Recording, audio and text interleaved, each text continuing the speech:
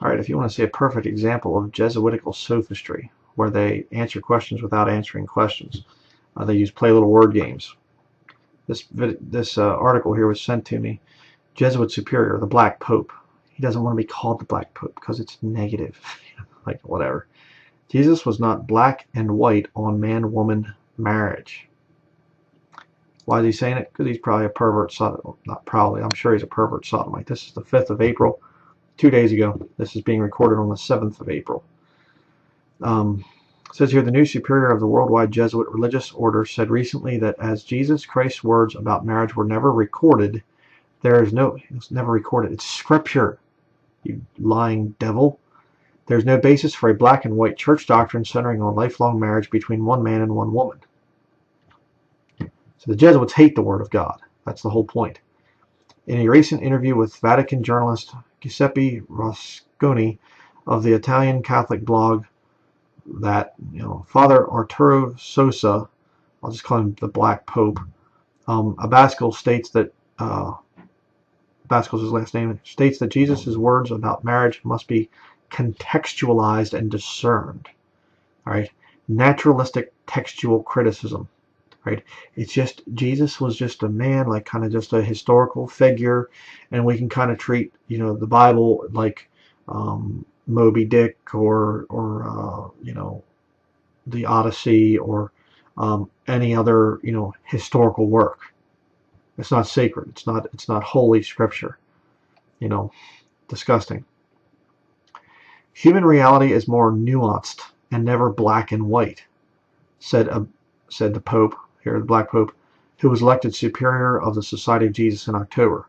LifeSite News has published the translation of the interview, which included the topic of remarriage following divorce. The Black Pope, who is from Venezuela, was asked by Rusconi about Jesus' teaching regarding marriage as provided in the Gospel of Matthew. He said to them, Have you not read that he who made them in the first place, this is Catholic uh, thing here, um, it says, For this reason, a man will leave his father and his mother and will live with his wife. They two will become one. So they are no longer two but one. Let no man divide what God has put together. It's Catholic, you know, translation there. But the point is, you know, man and woman. And this lying Satanist, uh, black pope is the Bible's not clear. There's you know nothing black and white on marriage. Look at his answer. This is how Jesuits talk. Rusconi stated to the Black Pope that the perfect, the prefect of the Congregation for the Doctrine of the Faith. By the way, this right here prefect for the doc, of the Congregation for the Doctrine of the Faith is the new name for the Office of Inquisition. I'm not joking. You can look that up.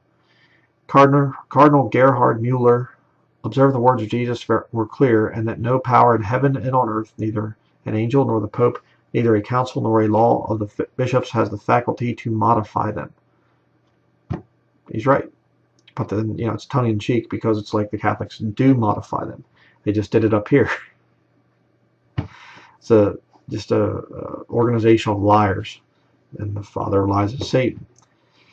At that time, no one had a recorder to take down his words. The Jesuit superior responded. Okay, they wrote it down. What is known is that the words of Jesus must be contextualized. They are expressed in a language in a specific setting. They are addressed to someone in particular. yeah, you'll love that. Asked whether the words of Jesus then have an absolute value, the Black Pope replied, Over the last century in the Church there has been a great blossoming of studies that seek to understand exactly what Jesus meant to say. That is not relativism, yes it is, but attests the, that the word is relative. It's not relativism, relativism, but attest that the word is relative. I'm not stabbing you. I am uh, simply killing you with a knife. The gospel is written by human beings. It is accepted by the church, which is made up of human persons. So it is true that no one can change the word of Jesus, but one must know what it was. yeah, what a crazy nut. Asked whether he is questioning Jesus' words, the Black Pope said he agrees with Pope Francis, also a Jesuit. Of course. One does not bring into doubt, one brings into discernment. the superior said. I mean, These people, their damnation is so just. Burn in hell, you wicked, stinking Jesuits. I just, ugh, disgusting.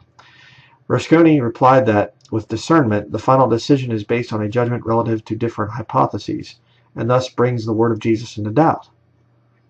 The Black Pope responded that he did not mean the word of Jesus, but the word of Jesus as we have interpreted it.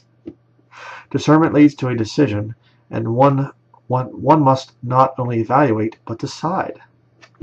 Uh, it's not real long, it's just about over here. The Jesuit superior continued that the Church has always made personal conscience a priority.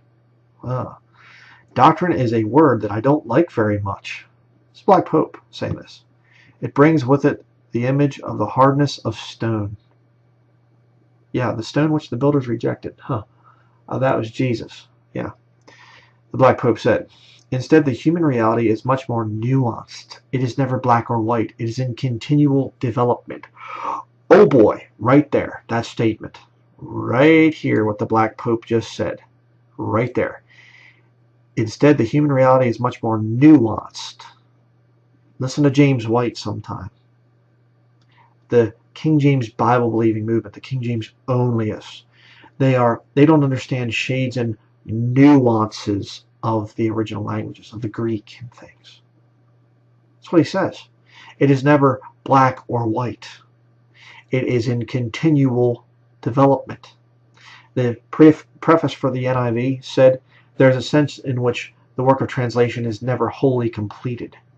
It's in my, one of my videos, one of my documentaries. It's a continual process. Yeah. So you can never say, this is God's word right here I hold in my hands. Oh no, you can't do that. Because the Bible is continually changing. We can't have doctrines that are made, that are written in stone we can continually change it. We can continually say, Yea, hath God said. It's exactly what this wicked, stinking devil is meaning by this.